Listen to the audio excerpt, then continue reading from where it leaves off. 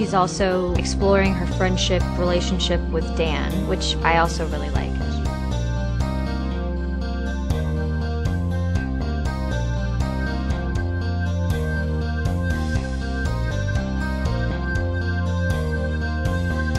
They have a funny relationship, and um, kind of want to see where that goes because it's.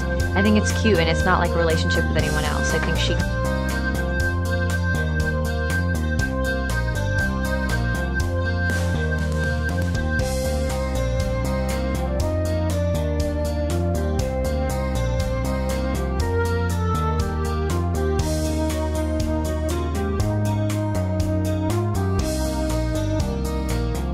All right, that's Give it up for Leighton Meester. Yeah, that is a cool story to tell the grandkids one That's day. incredible. Um, well, good thing.